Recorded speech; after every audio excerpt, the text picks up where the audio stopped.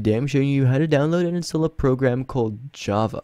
And this will basically work regardless of what version of Windows you have. Java is by Oracle Technology and you can find the link to the download page right at the top of the description.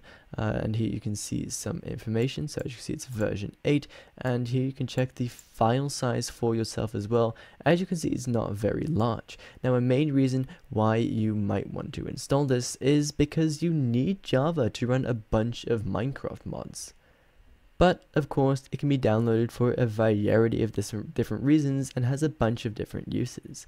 Anyways, you can click on the green, pretty obvious button over there, and as you can see, for me, it's going to start downloading in the bottom left hand side. Once you've downloaded that, as you can see, it's going to be in your downloads folder right there. And it is going to be called the Java Platform SE binary. Yeah, and basically, it's an exe file it's a program. You can double click on that and as you can see it's going to automatically open up.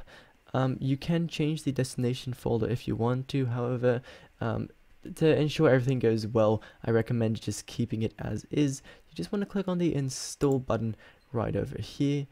It's going to be downloading the installer there as you can see. And now it's just going to start running. There we go now this here has popped up and the installer has been downloaded and it is now going to install it. And around two seconds later, um, we have successfully, successfully installed Java and we will automatically be prompted when Java updates are available as you can see.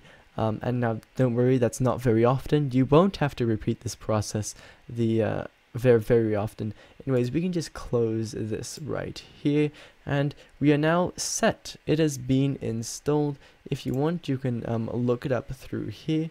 You can look up Java uh, as you can see and it's going to come up right over there not to be confused of course with Minecraft Java edition.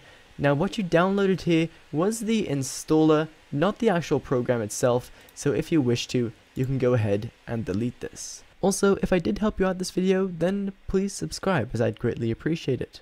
Anyways, basically, that was that for right now. Thank you ever so much for watching, and I hope to see you again in the next one. Bye bye.